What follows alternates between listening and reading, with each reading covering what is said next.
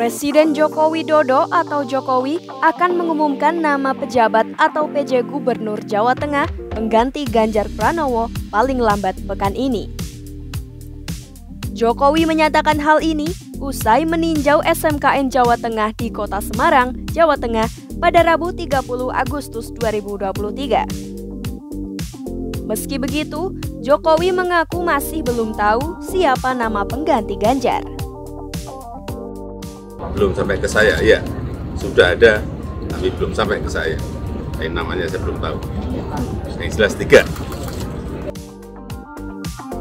Jokowi mengatakan bahwa penentuan PJ Gubernur Jateng akan dilakukan melalui mekanisme tim penilai akhir atau TPA. Pada awal Agustus lalu, Jokowi juga menekankan proses pemilihan PJ tersebut akan berlangsung transparan banyak yang enggak akuntabel, banyak yang enggak transparan. Masukannya dari bawah semua. Kan dari daerah. Diketahui sebanyak 272 daerah yang masa jabatan kepala atau wakil kepala akan berakhir pada 2022 dan 2023. Untuk mengisi posisi mereka, maka akan ditunjuk terlebih dahulu penjabat kepala daerah sebelum dilakukan pilkada serentak pada 2024. Beberapa di antaranya termasuk Gubernur Jateng Ganjar Pranowo yang berakhir pada 5 September 2023. Sementara itu, DPRD Jateng sudah mengajukan tiga nama yang diusulkan sebagai PJ Gubernur.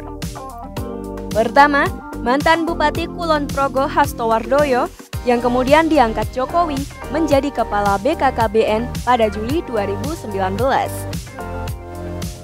Kemudian Kapus Penkum Kejagung RI Tony Tribagus Spontana yang pada 2020 menjadi Kepala Badan Diklat Kejaksaan RI.